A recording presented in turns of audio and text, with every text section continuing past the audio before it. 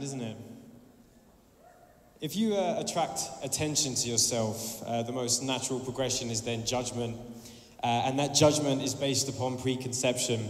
Uh, this is going to be a very different talk um, than I normally do, uh, mainly because it's a lot shorter. But I decided I'm just going to make this very, very personal. Um, and I'm going to tell you what I've been up to, a little bit why I became so obsessed with this bizarre uh, art form.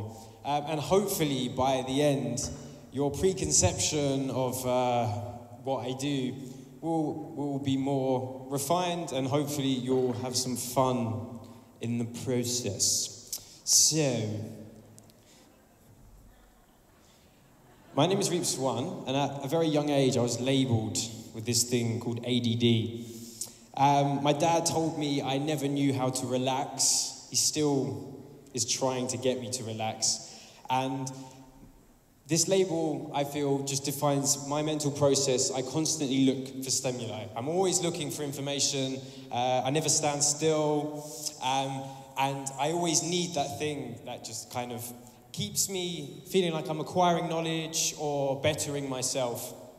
Um, and it was uh, maybe about the age of 13, um, I realized all these instruments that my, my dad played, my dad plays many different instruments, um, I would dabble with for a couple months. I'd get to an okay standard and I get bored. And I always had this thing of becoming uh, fed up or bored and like moving on, something new. And all these different instruments I played, I realized I could then speak compositions. So even though maybe on a sonic level it was not the exact same physical, uh, the phys- physical components, in my mind, I was acknowledging on a theoretical level all of the happenings within a composition. And this kind of, this satisfied me. Uh, so I'd find in all the negative spaces of my life, I would be uh, talking music, talking ideas. Uh, no one ever really heard it. It was just a personal thing for me. I was like, this will keep me happy for these um, voids in which I loathe. Hmm. so, naturally, after some time, speaking it wasn't enough, and the um, that, that, that, that, became. and the da da da da became. And I started to think and really listen to the how a sound was made. Why does a sound sound like this? And it still was just mine. It wasn't for anyone else. It was just negative spaces in my life. I was making these compositions. Uh, and more and more, uh, I started to perform them. And then one day, in the corner of my eye, this thing was flapping around and moving. And I turned my head, and it was my friend Ben, and he was dancing. He was like, mate, that's wicked. And I realized I could make people dance by speaking music. And I was like, what, really? This is just, we talked about this is my weird little thing. Just, no one should hear me doing that, one should. And, uh, and it was in that moment I was, okay, mate, maybe there's something more. Maybe there's something um, that I can express with this. I can, I can, I can speak something and there is a, a level of enjoyment that comes out of it. But still nothing big, just, um, just a tiny, tiny little thing. Anyway, so we're going to skip forward four years, and I'm in Japan, Tokyo, talking about sound design, speaking about how to come up with new sounds, um, how, to, uh, how I design my sounds. And I was, I was really frustrated. If I'm honest, I was pissed off. Basically, my translator couldn't understand a word I was saying. I still had, I was a little bit younger, I was about 18. I was a little bit more like, ugh. Um, and he just couldn't, couldn't get my sort of London slang. So I ended up with two translators where my sort of London English was being transferred into Queen's English and then into Japanese. Which was a, a, slightly frustrating process. I was trying to be as articulate as I could be. Um, so I was like, you know what? Sod this. And there's these things I designed called sound trees. And what these sound trees are is like visual theory. And the visual theory is a visual way of representing how I design new sounds, how I create new sounds. And in a sort of spur of, of, a, of a, a moment of creativity, I realized I could actually express this idea without speaking. So there was about 500 people sitting in front of me, and I was like, you know what, you know what, just mate, leave it. Just stop. It's fine. I'll do it. So, this is what I call a sonic story, and it's called The Journey of the Wob. And what the wob is, is a sound I came up with that sounds like this. Wait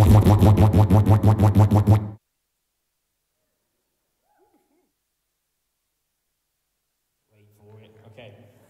So, The Journey of the Wob.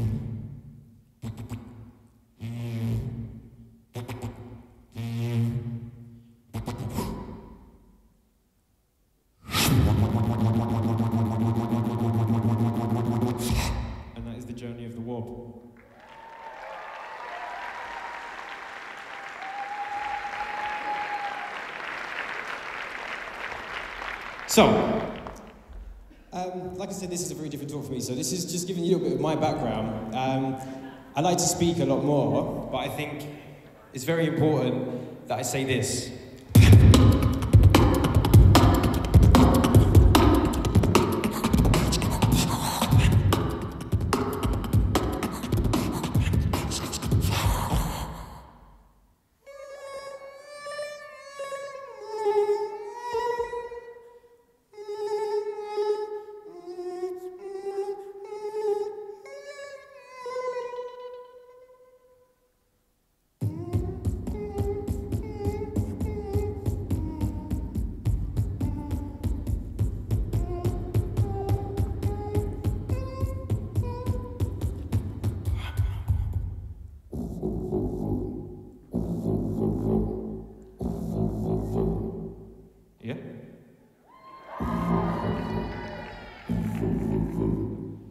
Yeah, yeah, yeah,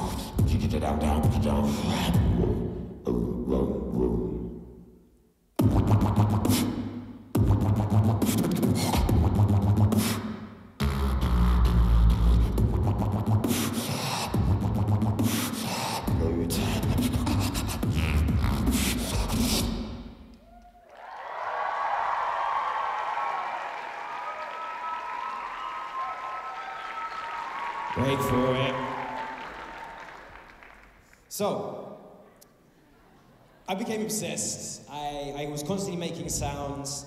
Um, it shaped my life uh, at a young age, the ADD I mentioned. Um, something I'd like to say attention deficit disorder. Disorder. Dis, disorder.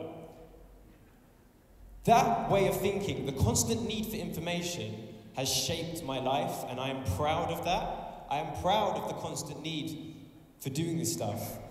Um, there's, it's, it's, yeah, no, no. It's, and it's something, it's a phrase that I think was designed when, when there was a variation um, um, to an established way of, of communicating information to children. So it was a disorder because the way you would pass on information, when there were these individuals that had a shorter attention span, it wasn't the normal variation, so it was defined as a disorder. It's, it's been the order of my life, and I'm very, very proud of it, and I think there's something very wrong with how that is communicated in that phrase specifically. Anyway, so a few years down the line, even more, I was performing, and a lady came up to me uh, by the name of Dr. Sophie Scott, and she works for the UCL. Um, and she said one of the strangest things um, that I think I've ever heard uttered by a woman, and I've heard some bizarre, bizarre phrases.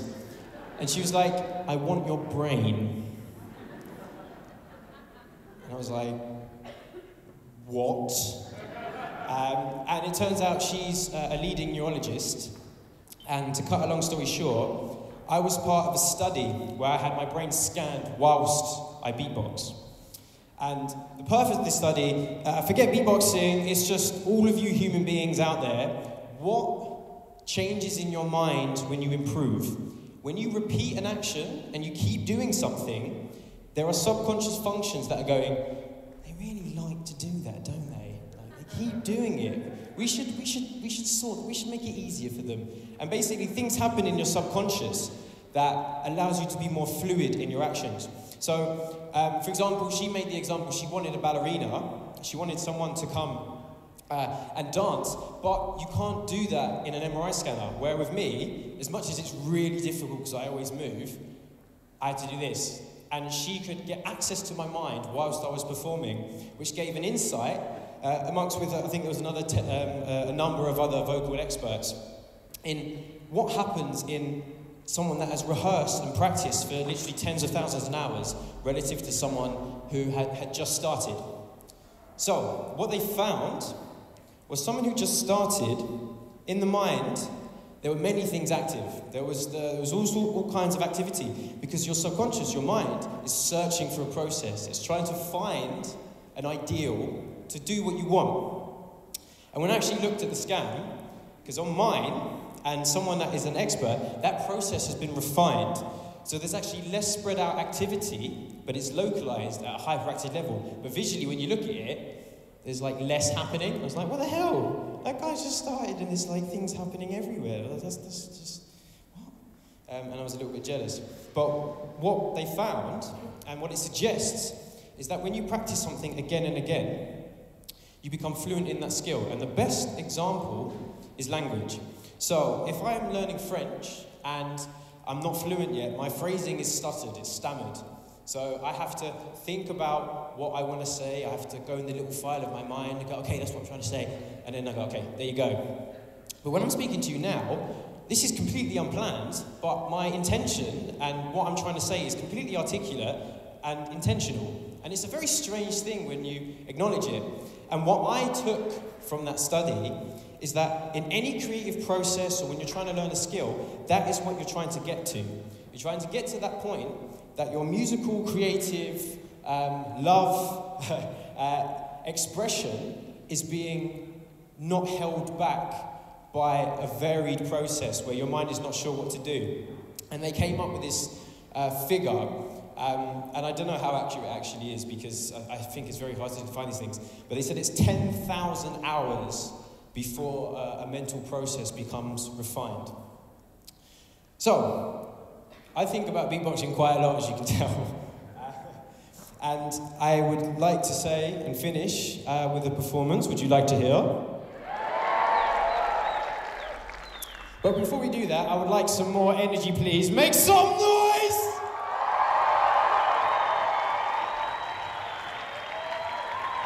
And before that happens, lemons, I'd like to do something funny. On three, on three, I want everyone to go, ah! In a very, wait, no, wait for it. As quickly as you can, as tiny as you can. Let's have a little practice. One, two, three. one, two, three. Okay, now this is going to be the really loud one, and then I, I'll, I shall do the performance. One, two, three. Thank you very much. Okay.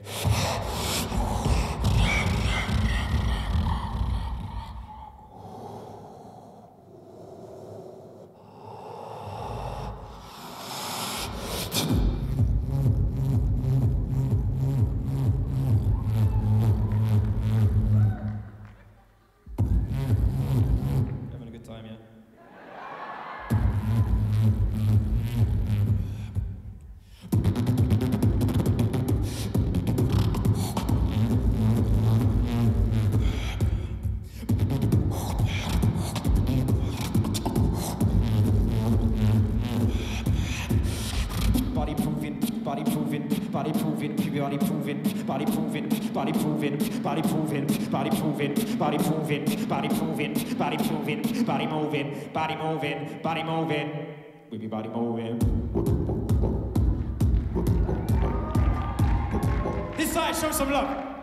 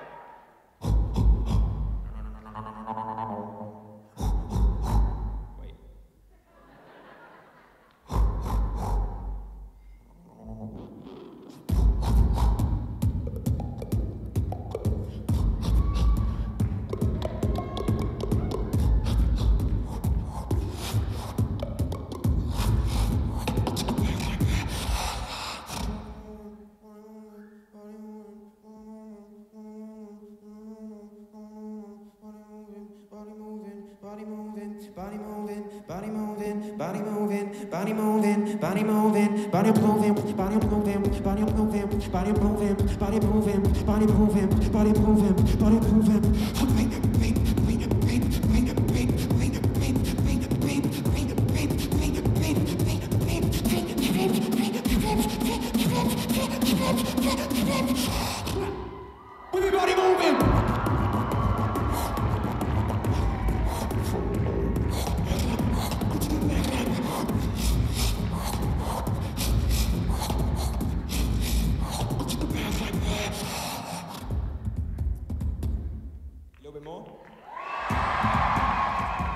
Sure?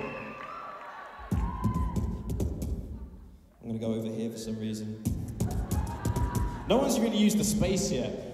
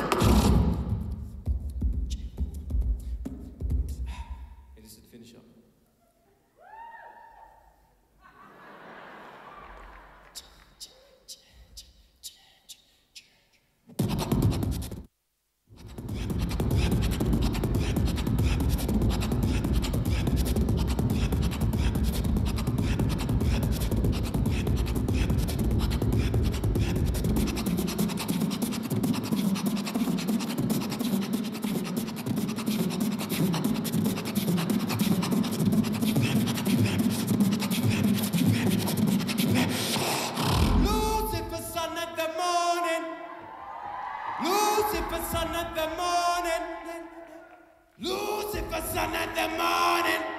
I'm gonna chase you out of earth. Lucifer, son of the morning. Lucifer, son of the morning. Lucifer, son of the morning. I'm gonna chase you out of